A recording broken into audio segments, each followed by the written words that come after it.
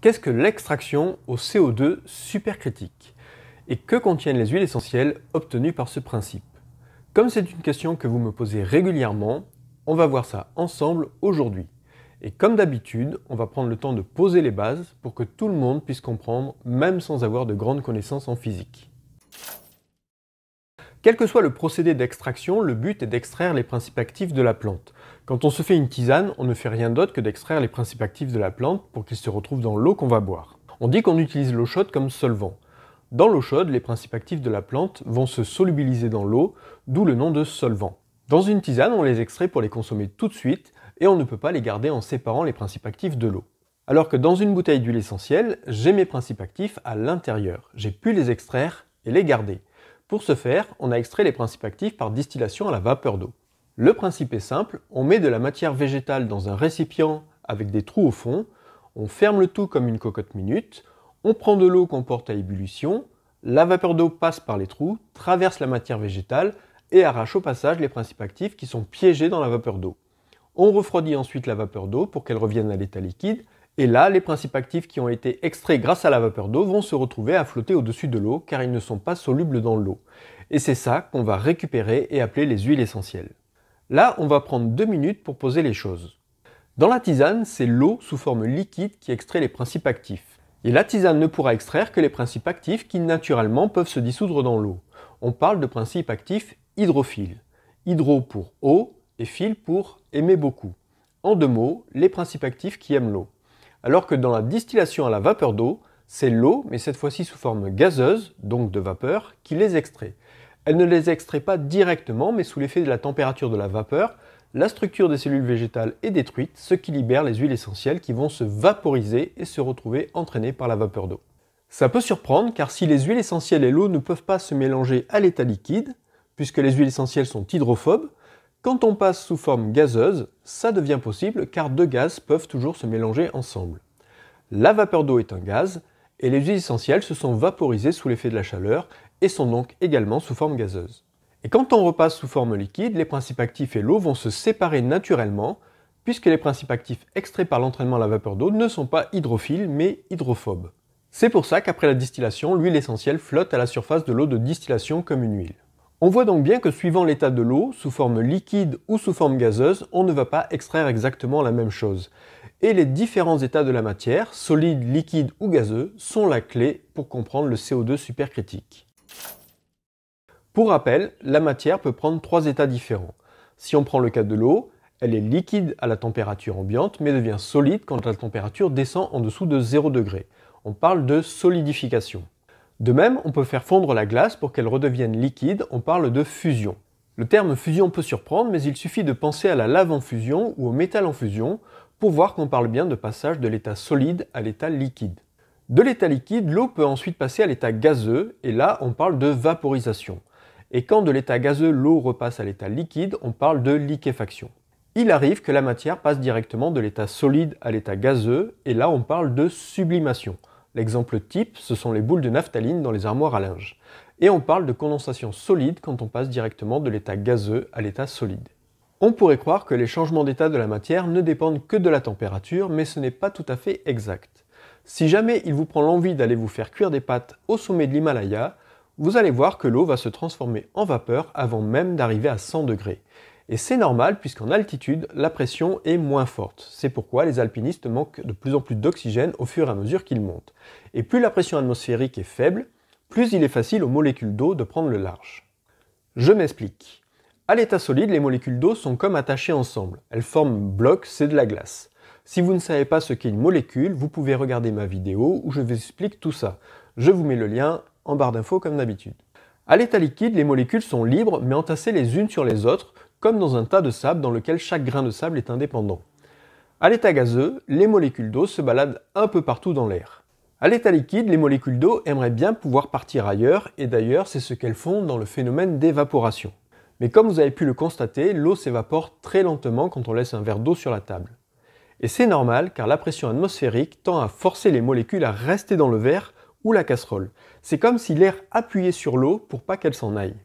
Quand on fait chauffer de l'eau, on ne change pas la pression atmosphérique, mais la chaleur qu'on apporte à l'eau va lui donner de l'énergie. C'est-à-dire que c'est comme si la molécule d'eau devenait de plus en plus forte et que la pression avait de plus en plus de mal à l'empêcher de partir, jusqu'au moment où la chaleur transmise à la molécule d'eau lui donne suffisamment d'énergie pour être plus forte que la pression, et elle s'envole. Donc quand on est en altitude, la pression atmosphérique est moins forte, la molécule d'eau a donc besoin de moins d'énergie pour s'échapper, et elle aura cette énergie suffisante avant que l'eau n'atteigne 100 degrés. L'état de l'eau, solide, liquide ou gazeux, ne dépend donc pas seulement de la température, mais d'une combinaison de la pression et de la température. C'est-à-dire que si on matérialise sur un graphe l'état de l'eau en fonction de la température et la pression, on obtient un graphe qui ressemble à ça. Dans cette partie-là, c'est toutes les combinaisons de pression et de température pour lesquelles l'eau est à l'état de vapeur. Dans cette partie, les conditions pour lesquelles l'eau est à l'état de liquide. Et dans cette partie-là, les conditions pour que l'eau soit à l'état solide, c'est-à-dire sous forme de glace. On peut tracer ce graphe pour chaque matière, y compris pour le gaz carbonique, pour lequel on aura un graphique presque similaire, mais la température et la pression auront des échelles différentes, puisqu'à la température ambiante et la pression ambiante, si l'eau est liquide, le gaz carbonique, lui, est à l'état de gaz. Mais dans les deux cas, les graphes nous permettent de connaître les conditions à avoir pour être à l'état solide, liquide ou gazeux. Mais tout ça ne nous dit toujours pas ce qu'est le CO2 supercritique. Et pour le comprendre, on va reprendre notre courbe de CO2 et on va regarder ce qui se passe si on continue à augmenter la pression et la température. Si on fait ça, le gaz carbonique va rentrer dans un état très particulier. Ce n'est ni vraiment un liquide, ni vraiment un gaz, c'est plutôt une combinaison des deux états. On pourrait dire que c'est un liquide avec les propriétés d'un gaz ou un gaz avec les propriétés d'un liquide, ou un état qui combine les propriétés du gaz et du liquide. On appelle ça l'état supercritique. Et là, on voit bien l'intérêt d'un tel état dans l'extraction pour les principes actifs. Il va pouvoir pénétrer comme un gaz le fait dans la matière, tout en ayant la solubilité d'un liquide. Et comme pour la distillation par entraînement à la vapeur d'eau, lorsqu'on lui fait quitter son état supercritique, il va se séparer des principes actifs qu'il a extraits, ce qui en facilitera la récupération. En plus, le gaz carbonique atteint cet état à partir d'une température inférieure à 40 degrés, les principes actifs sont donc extraits en douceur sans être chauffés. Et comme le CO2 supercritique a les propriétés d'un gaz et d'un fluide à la fois, il va pouvoir extraire la quasi-totalité des principes actifs lipophiles, c'est-à-dire les principes qui ont une grande affinité avec les huiles. Si on reprend le langage des parfumeurs, on a pour les huiles essentielles une note de tête constituée des principes actifs les plus volatiles, une note de cœur composée des principes actifs un peu plus lourds, et une note de fond qui contient les principes actifs les plus lourds, et ce sont ces molécules que l'extraction à la vapeur d'eau n'arrive pas à extraire complètement car elles sont trop lourdes. Alors que le CO2 supercritique y arrive facilement. On a donc toute la gamme des molécules lipophiles dans un extrait CO2. Un autre avantage du CO2, c'est que c'est un gaz neutre et qu'il est de qualité alimentaire puisque c'est le gaz qu'on retrouve dans les eaux pétillantes par exemple. Ça évite donc d'utiliser des solvants chimiques dont il reste toujours quelques traces dans les principes actifs quand on les utilise. Et pour la petite histoire, cette technique s'est démocratisée lorsqu'elle a été utilisée pour décaféiner le café. On s'en sert également pour extraire le principe amer du houblon utilisé dans la fabrique de la bière, ou pour enlever une molécule particulière du liège qui donne au vin le goût de bouchon. Précision importante, les huiles essentielles obtenues par extraction au CO2 supercritique ne s'appellent pas des huiles essentielles, mais des extraits CO2. Mais c'est comme pour les essences d'agrumes, par abus de langage, on continue à appeler ça des huiles essentielles. Mais on retiendra quand même que les extraits CO2 contiennent généralement une plus grande variété de principes actifs que les huiles essentielles. Je dis en général car un autre avantage du CO2 supercritique, c'est qu'en choisissant un point de fonctionnement dans la zone supercritique, on peut quasiment sélectionner les principes actifs qu'on extrait. Ce qui veut dire qu'en choisissant bien la pression et la température dans la zone supercritique, on peut quasiment extraire les mêmes principes actifs que ceux qu'on trouverait dans une huile essentielle. Ça a un intérêt par exemple si les molécules les plus lourdes n'ont pas forcément d'intérêt thérapeutique ou olfactif. C'est vraiment un gros avantage du CO2 supercritique. Tant qu'on reste dans la zone supercritique, on peut être sélectif sur les principes actifs qu'on extrait en modifiant le point de fonctionnement, ce qu'on ne peut pas faire avec la distillation à la vapeur d'eau.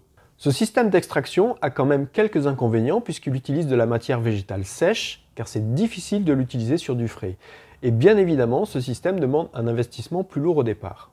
Mais il a par contre comme grand avantage de pouvoir extraire toutes les molécules lipophiles ou simplement la partie la plus volatile en sélectionnant bien son point de fonctionnement.